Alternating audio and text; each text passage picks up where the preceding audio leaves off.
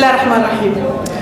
آه، إبراهيم شريف آه، صراحة قاعه فلسطين نورت الحكم من دخلتك فيه. جد.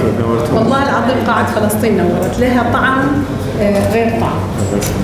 آه، إبراهيم شريف زميل عزيز ترى وايد أكبر مني. الله يعيشكم يعني آه، اعطاني كتاب في 1979 كنت طالبة جديدة رايحة أمريكا؟ لا مو 79 1949 عندك شيء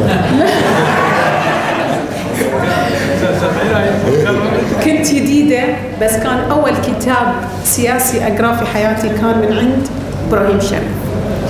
والأيام تمر ويوقف ويانا إبراهيم شريف في قضية آه، جمعية التمريض البحرينية. ولما سوينا كامبين أطلقوا سراح كادر التمريض.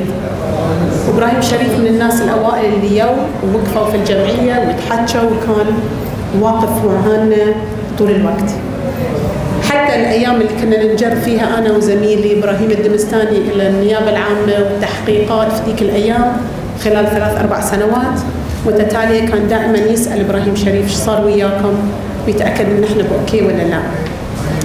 إبراهيم شريف كان يجي لنا الخيمة الطبية في الدوار ويسأل عنا ويتأكد إن إحنا أمورنا okay وماشي الحال وأنتم okay وكذا.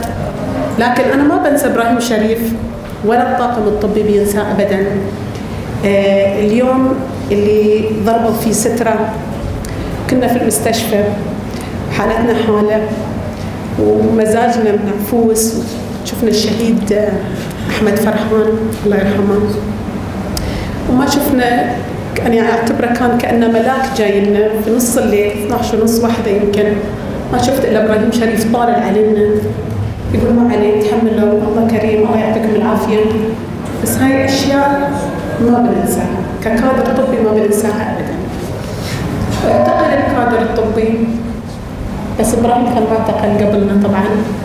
كنت أتصل في نتصل فيه فريده آه، لما اعتقل الكادر الطبي كان يتابع قضيتنا. وكان يطلب من محامين وعد إنكم لا تنسون الكادر الطبي ووقفوا معاه وأنا أقول لك المحامين حافظ سامي. إبراهيم سرحان ما قصروا ووقفوا وقفه شريفة في المحكمة العسكرية. لما كانوا ينادونا اسم اسم إحنا ولا ندري بالدنيا لأن صار لنا ثلاث أربع شهور ما شايفين أهالينا. ولما يقولون مثلا بلا سفر من محاميها ما تشوف إلا المحامين كلهم وقفوا. فهاي لازم تعتز في المحامين واللي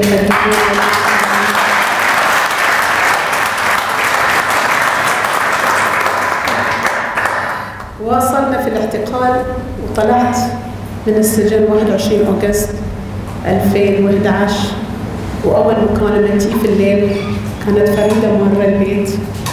ويقول لي من على التليفون إبراهيم شريف كان على التليفون. ويقول لي الحمد لله على السلامة.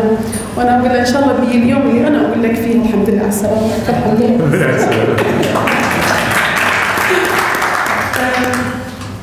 إبراهيم شريف لازم تعرف إنه عندك عائلة مثل ما قلت عائلتك الصغيرة والكبيرة ووعد كل البحرين هي عائلتك. وكل بيت وكل زرنوق في البحرين هو بيتك. ولازم تعرف إن عندك زوجة أم شريف.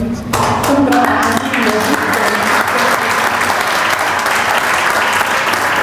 ولا ظهرها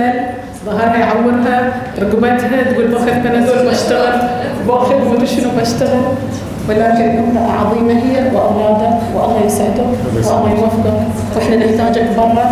خليك برا.